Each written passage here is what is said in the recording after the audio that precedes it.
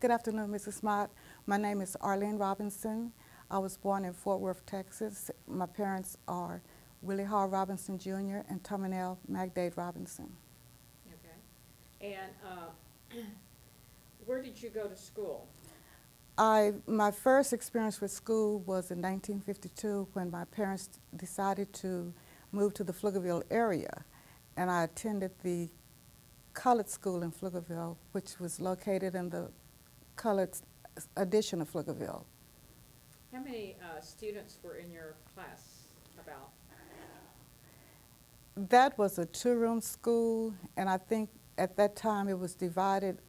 Uh, one room was for the elementary kids, and the other room was for the kids, I guess, junior and senior high at that time. And do you remember your teacher that one year? Uh, yes, I do. Uh, her name at the time was Mrs. Rosie Lee Lewis, and uh, she's a teacher that has always held a special place in my heart. Um, she was from Caldwell, Texas, and at the time that she taught here, she uh, roomed with my cousins, Albert and Lula McDade. And it was in the, I think, the late 90s that she passed away. She had, when she left here, she got jobs teaching in Austin. And when she passed away in the 1990s, I was able to go to her visitation and her, she had, you know, married, had kids, and they really didn't know any of the students from Pflugerville, even though they knew she had taught here. And my older sister and I went, and I got up and spoke at her visitation, and the daughter was really pleased because she said, I was just hoping someone from Pflugerville, you know, where my mother started, would come here and speak, or just be here. And uh, that meant a lot. So, um, uh, did you have to bring your lunch to school, or tell us about what a normal school day would be like? A normal school day was the reading, writing, and arithmetic. Yes, we did have to bring our lunches. Sometimes we took our lunch from home, and then sometimes when my mother didn't fix a lunch, my daddy would go somewhere, and at lunchtime he would come over with a hamburger for uh, each of us. Okay. Yeah. And did you have a, a, a very large playground outside? I can't remember the playground. I know we went outside to play, but being a six-year-old in a new place, getting to know all new people was, you know, a little bit much. Uh, tell us a little bit about your uh, uh, ancestors, uh, the McDade family and the Feemsters. I will start with the Feemster Robinson family since they were the first ones to arrive in Pflugerville. My great great grandfather, John Feemster, and his wife, Queen Esther Rubottom Feemster, were the first blacks to settle in Pflugerville. My uh, great great grandfather bought 100 acres of land out off of what is now called Heatherwilde, Heatherwilde Boulevard, which is west of Pflugerville. And um, he came here, he and his wife, with their four young adult children. Uh, their second oldest daughter, Mary Jane, became my paternal great grandmother. She was the father of my grandfather. Her son, Willie Robinson, whom my father was named for, was my grandfather, and he passed away before my father married my mother. Um, so the family farm was there. What did uh, what did they raise crops on the farm, or, or what what did they actually uh, have animals? I've been told that they raised crops, they had animals, of course. In fact, from what I've been told, to survive, they had to, you know, farm and just have cows, chickens, poultry, just whatever to survive.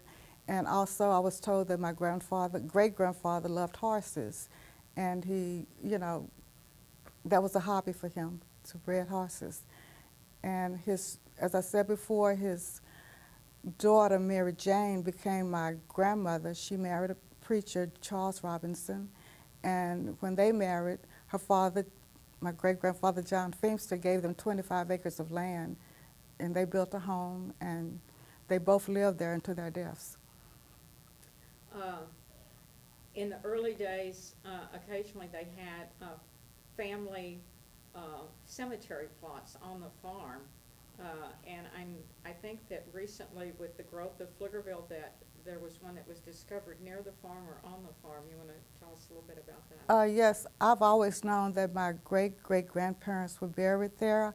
It was part of their land at the time, and I guess now it's still part of their land because they're buried there, and it's land that can't be sold because it is a cemetery.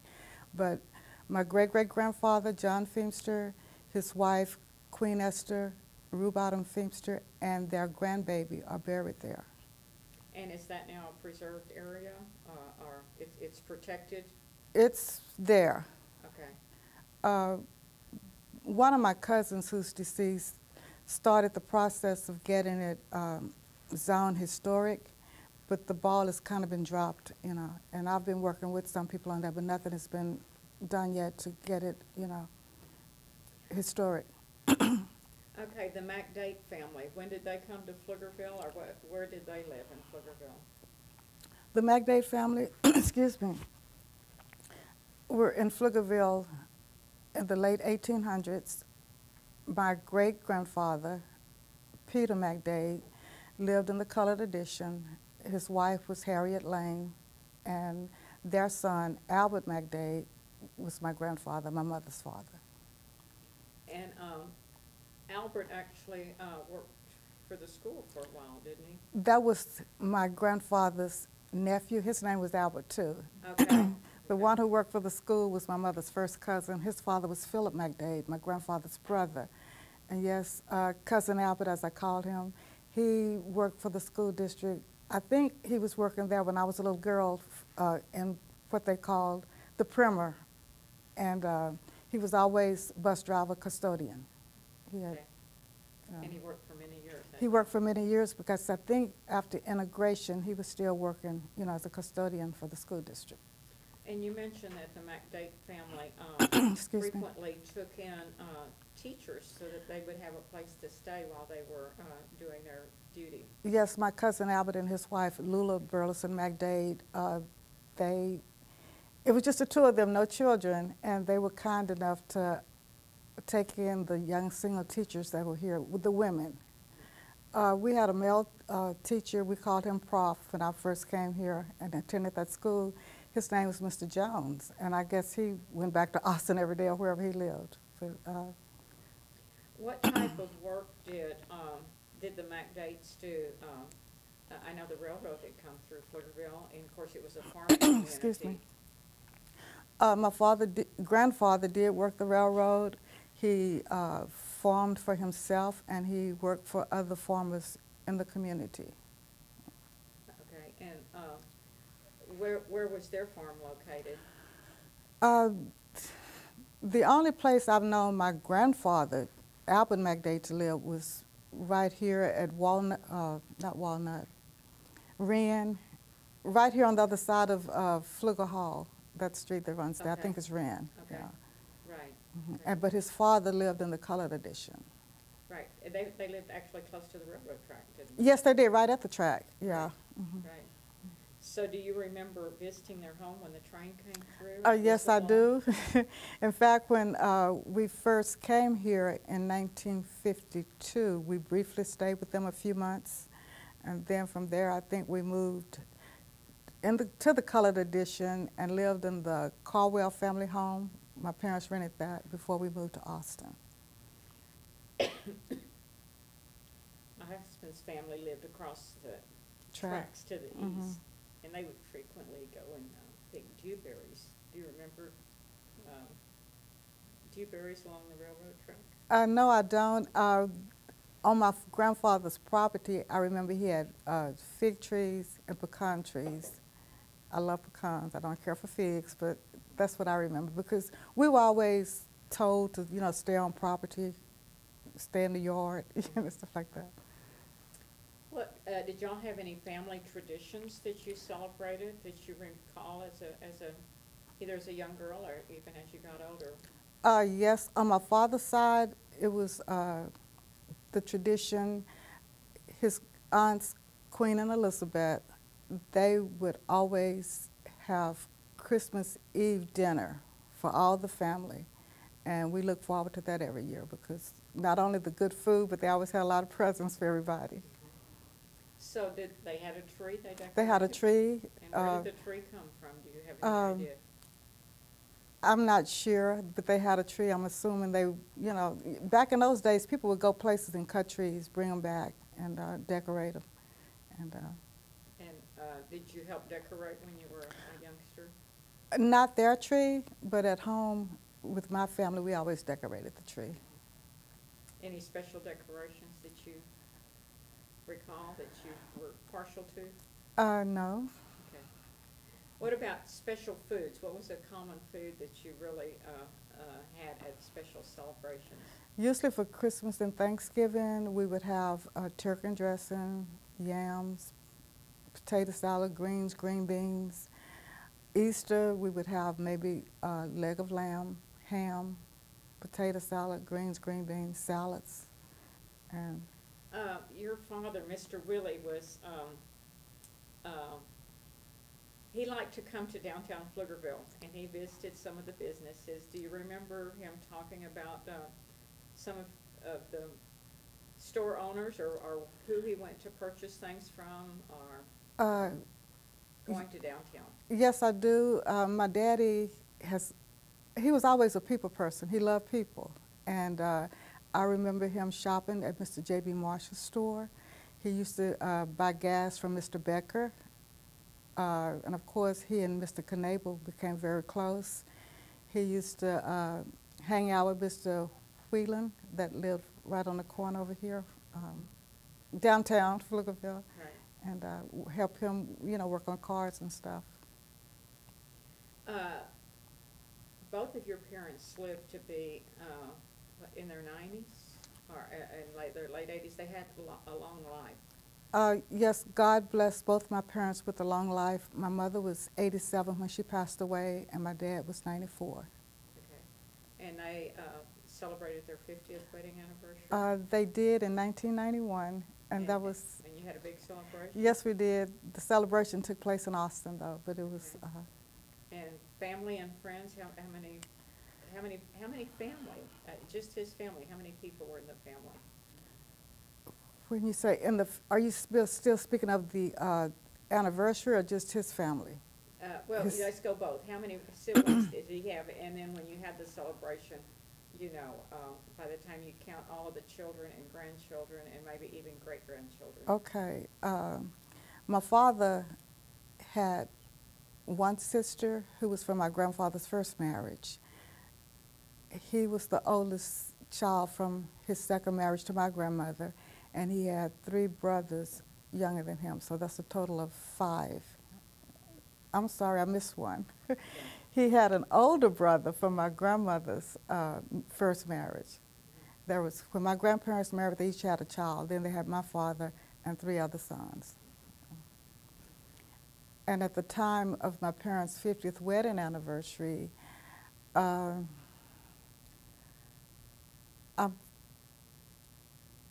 two of his siblings,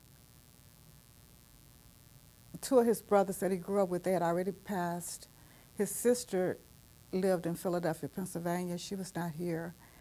And his brother that was right under him, Carl, he was out of state, so he wasn't here. But all the kids, spouses, and grandkids were there, and some of their long-term friends.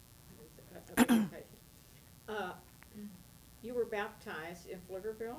I was baptized in Pflugerville at Gilliland Creek. When my family uh, first came to Pflugerville, we attended the St. Matthew Baptist Church where my grandfather was a deacon.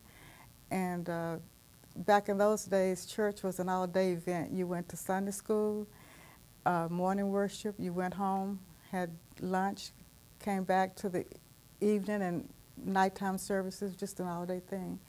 Yes, I, I remember being baptized in Gilliland Creek. So do you remember who the pastor was that, uh, when you were baptized? At St. Matthew, no, I don't remember. Okay, okay. And uh, so if church was all day, was there a lot of singing and just uh, general fellowship? It was general fellowship. In those days, that's just what you did on Sundays. You worked hard all week.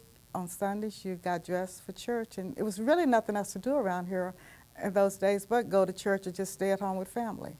You know. Um, Who were some of the other families that attended um, church back in those early days?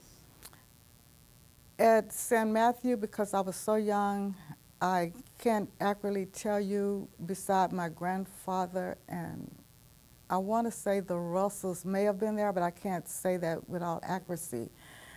But when you speak of families in Pflugerville that I know, I've known these people all my life from the time I was six years old and came here. Uh, the Russells, the Caldwells, uh, I think it was a couple called named the Smiths who lived in the Black Addition. I vaguely remember them. My cousin Albert, cousin Lula, the Allens, those people I remember. But at that particular time in my life, I can't say how many were at St. Matthew and how many were at St. Mary. Uh, my mother's family attended St. Matthew, but the family, the Robinsons, uh, they were always members of St. Mary. And my Uncle James Albert Robinson, he was an associate minister up there. Uh, my aunts, uh, his wife and his sister, they were choir members, participated in the missionary society, Sunday school, just whatever, you know. So St. Mary's kind of, uh, uh, shall we say, ha- has had a hundred years, uh, and now St. Matthew's is no longer. St. Matthews is no longer, I think the membership was so few, and to my grandfather and the others who were there decided to unite with uh, St. Mary. When I came back to Pflugerville, um, I joined St. Mary. I was a member of St. Mary, I guess, from the late 70s until 1994. And I decided to move my membership back to the church in Austin where I attended. There was an era in my life, and of course, I, I attended, um, several funerals at St. Mary's when, Mhm. uh, women wore very stylish hats. And I, uh, I remember Miss Russell particularly, and, and some of the other ladies, just Mhm. gorgeous hats. Uh, Mhm. Can you, where, where did they find these hats? Uh, Where did you go shopping? Where they went shopping for those hats, uh, I can't really say, but uh, a lot of stores like J.C. Penney, Sears, they they had hats then. I'm not really a hat person, and but when I have decided to go look for one, they're kind of hard to find. I wanted to wear a hat to my father's funeral, which I did. I was able to find it at Dillard's, but. Uh, my mother wore hats, and I think she got some of hers at J.C. Penney's or Sears, you know. But uh, Um, So what did, uh, what did Miss Russell do? She was a mother, a homemaker, uh, and she also had longevity. She lived to be uh, over a hundred years old, I think, or, or right at a hundred. Miss Russell was a very beautiful person. She raised a fine family. Uh, she was primary a homemaker. She was a reserved person, very sweet, you know. One of those older ladies that you can just get so much wisdom and understanding from.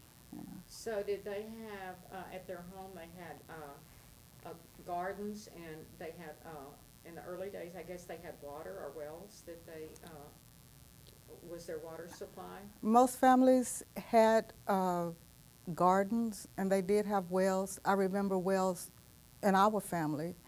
Uh, my grandfather had a well, which I was afraid to go near because I didn't want to fall in. And my uh, his sister, um, Mrs. Vicey Jones, who lived right at Wren and Pecan Street, she had a well. And everybody just had a well. I think out on the uh, Robinson Feemster property there were wells. You know, but I've always been afraid of wells. Did, uh, did you know any, uh, of the people in the community who may have worked on the railroad? And, and, and what their job was? Uh, The railroad was here for a period of time, and then in the seventies, it actually, you know, went away.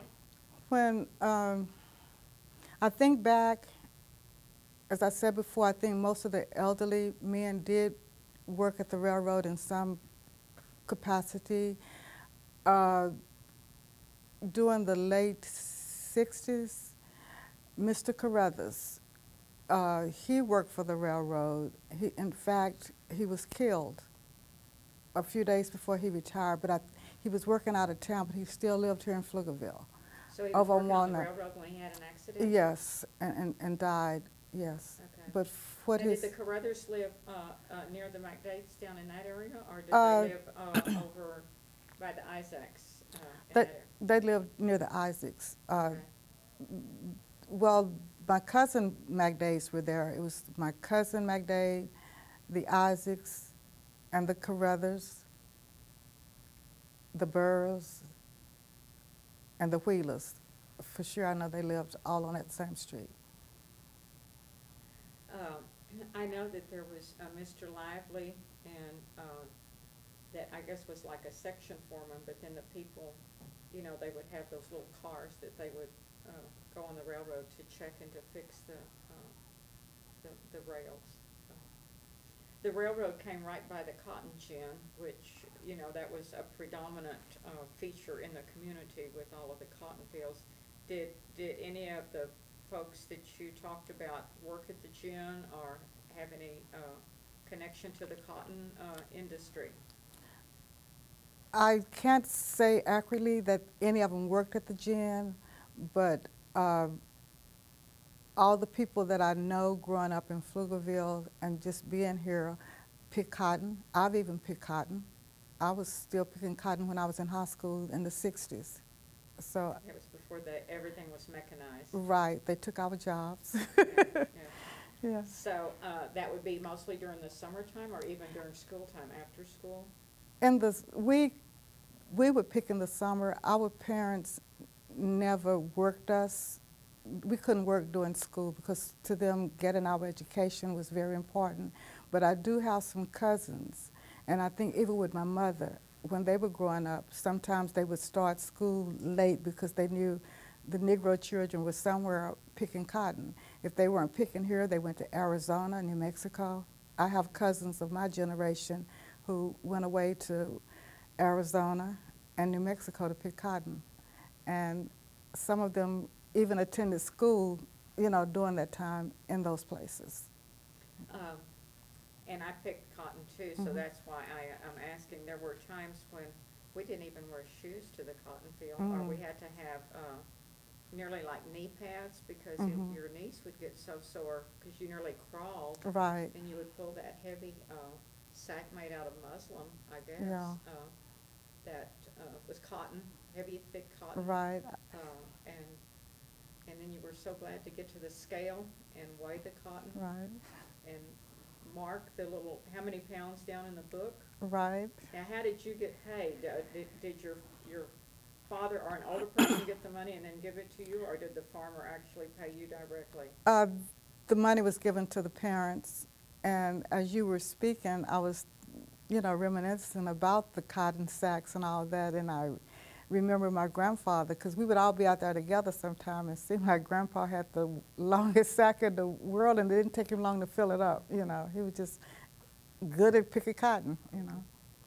Well, and the sacks came in different lengths. When d- you were a child, you had one appropriate, and then as you got older, you got a longer sack. And you're right, the men had very long Long sacks sacks, that they yeah. could, uh, they Mhm. could pull. And then it was just a tripod Mhm. that they would have to get that sack off the ground so they could actually Mhm. weigh. Mhm. And, um,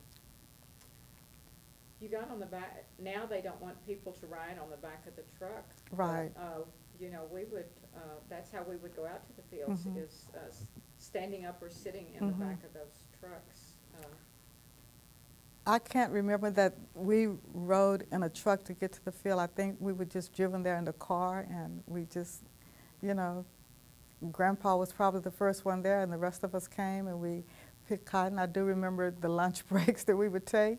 You know, we'd have our sardines, crackers, pork and beans, stuff that you could take to the field. And uh, Now, do you remember if you wore gloves? Because you could pull the cotton out, and then sometimes they would just pick the whole burr. Mhm. Uh, But uh, there was two different ways, but that, that burr could start uh, cutting your hands.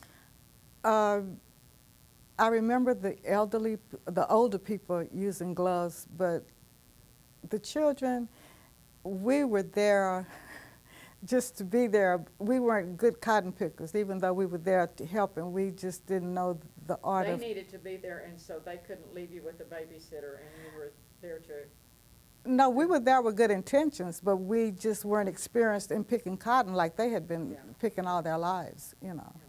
We did the best we could, but I can't remember wearing gloves. You know. okay. And you would look for shade any place to get a water break, sometimes under a truck or a trailer to just That's uh, right. get relief from that hot Texas. That's true because no no trees in the cotton patch. yeah. Um, so, uh, uh, um, you had some members of your family that then, uh, went to Pflugerville High School after it was integrated. Uh, can you tell about some of their experiences in that time period? Uh, yes, uh, I think in 1964, when the schools were integrated, the five children under me, starting with my sister Linda, they all attended uh, the integrated school, and relationships were strained, and I think that has a lot to do with people just not being familiar with each other. Uh, but uh, my parents, our parents, always taught us to, you know, try to get along with people, be respectful, uh, be honest, loyal, just be good citizens. And I think that's what um, carried them.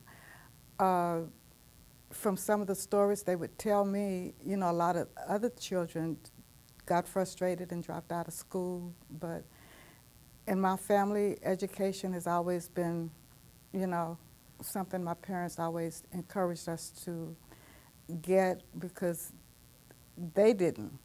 And life is hard without an education. And, uh, but things worked out, and soon they assimilated and got involved. My brothers, Jimmy, he was a second graduate. Uh, he, my brother James and Joseph, they played football, ran track. Um, the girls, I don't think they participated in any extracurricular activities. At least they never spoke of it. But as far as just relationships, going to school, you know, they made friends. In fact, Linda was here several years ago to her class reunion. You know, I think she went to somebody's place in Georgetown, and she enjoyed that, seeing everybody. And a few years ago, they had a reunion um, here at uh, the Lions Hall or something. It was, it was and, uh, Lions Hall, and I remember they were, it was, it was really a nice time. And I even went, you know, I, I, and I enjoyed it, you know, seeing everybody. And t- they took pictures with the superintendent at the time, Mr. Uh, Dupree, and all. And just to sum it up, I think they adjusted well to integration, and they have fond memories of attending school here. I have a son, Pflugerville School, the integrated school is all he knows, and uh, he excelled at football, track. He represented Pflugerville at Boys State one year. His senior year, he was voted uh, Mr. PHS, which back when they were coming along, that probably would never would have happened, you know. So things have gotten better, you know. Now, what, what, what year was that? Uh, when did he graduate? My son graduated in 1991. Right. Um, now, Linda and uh, a, a few of your siblings went to the University of Texas, right? Uh, yes. Uh, my brother Joseph, my brother James, these are the two youngest brothers. Uh, they graduated from the University of Texas at Austin. My brother Jimmy, he was the second uh, Negro to graduate from Pflugerville High School. He graduated from the University of Texas at San Antonio. And they were the first in the family to uh, graduate from college? Uh, they were the first in the family to graduate from college, but I was the first to attend college.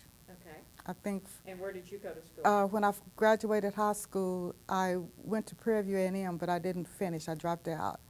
And when I decided to go back to school, I started back at ACC, and I went to the University of Texas and graduated.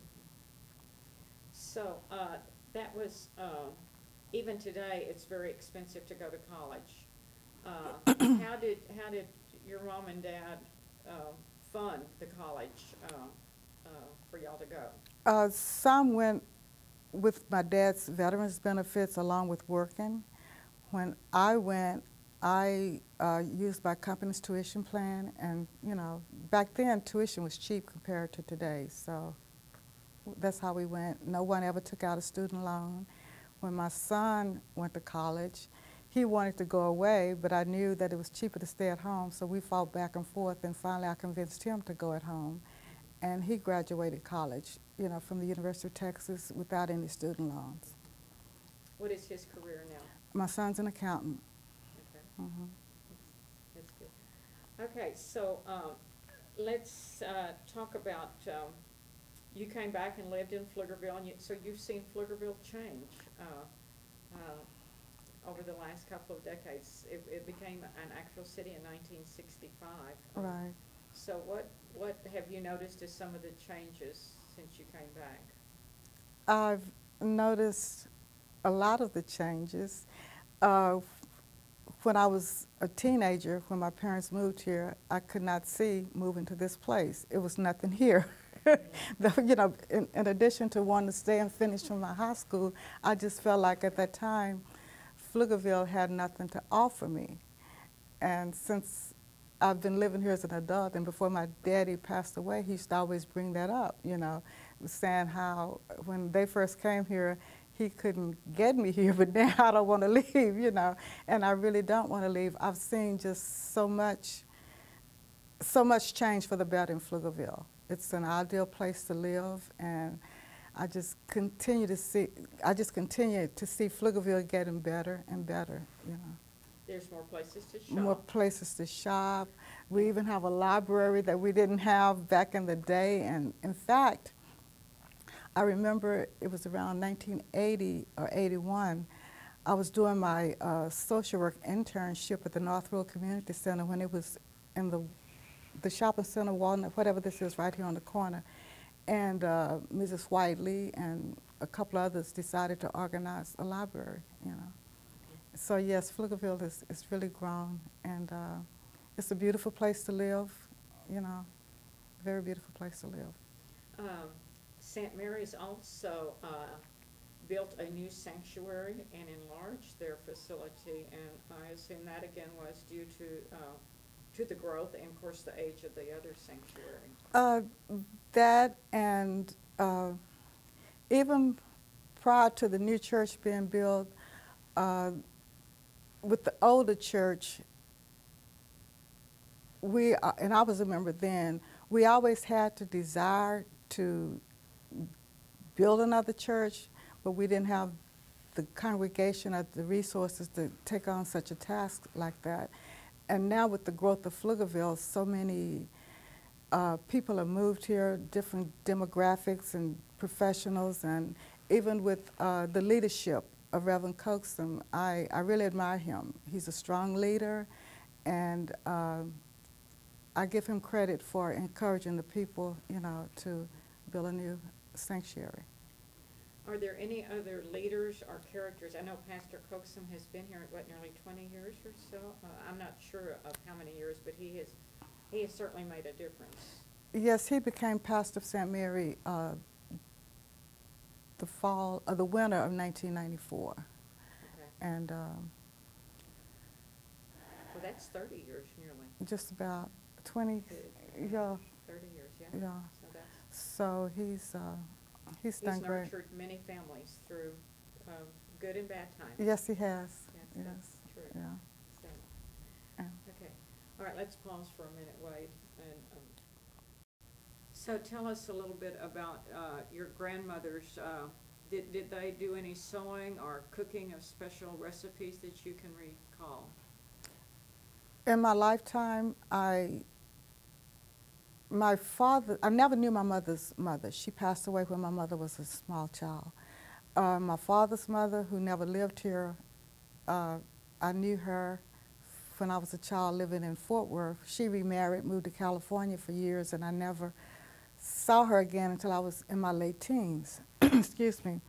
But we did have seamstress in our family and good cooks that I grew up around, and that was my Aunt Frances Elizabeth, who grew here, grew up here in Pflugerville. Mary Jane and Charles Robinson were her parents, and uh, her sister Queen Esther. They were good cooks, excellent seamstress. They would just make us clothes that looked like they went to Sears or J.C. Penney's and bought, and they enjoyed sewing. Okay, and um, Miss Caldwell, there's a school named after Miss Caldwell. I believe she was a teacher at one time, but uh, any, any memories of the Caldwell family? I have a lot of memories of the Caldwell families because they're one of the black families that have had roots in Pflugerville for a long time. Um, I was told that Miss Caldwell was a teacher. I, my relationship was, with Miss Caldwell is primarily uh, from church.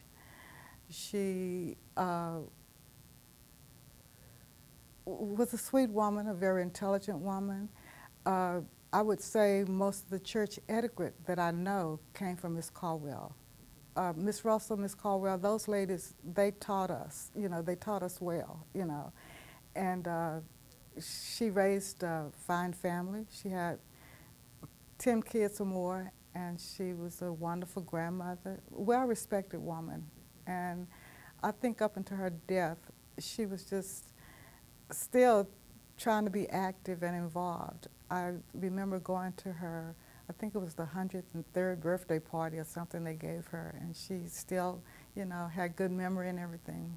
Even though she was blind, she was just very involved. And In her later years? she was yes, blind, hmm she was. But she was still able to Yes, she, function? she was still able to She had function. someone helping her? She, uh, Miss Caldwell, well, like I say, she raised uh, a beautiful family, and it's one thing that I've told the Caldwell girls, women, and the Russell women.